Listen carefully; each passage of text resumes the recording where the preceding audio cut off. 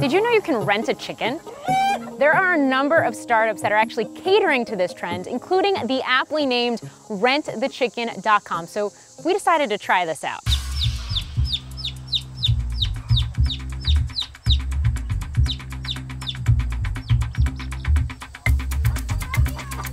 I'm Homestead Kay, and I work with rentthechicken.com. We raise two chickens that are already of laying age, load up a coop, and we'll be your chicken friends. Usually we make more than one delivery in a day.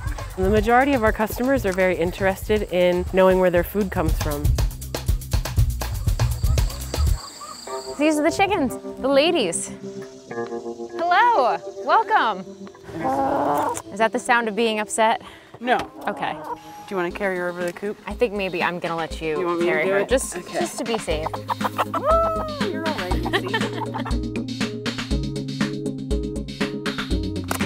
Now, this might sound like a crazy question. Is there a method to collecting the eggs, or will they just move out of the way and let you?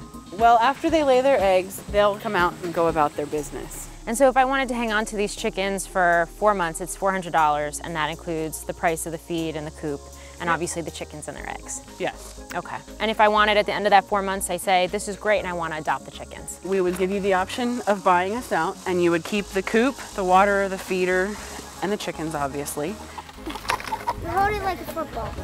Okay. Like this, right? Yes. Hi, lady. Hey YouTube fans, I'm Landon Dowdy from CNBC. Thanks so much for checking out our channel. Here you'll find videos packed with all the info that you need to be smarter about your finances. Be sure and subscribe by clicking right here and click on all the videos around me to see CNBC's original series Young Money, Tech Bet, Cramer's Mad Money, and all the latest from CNBC.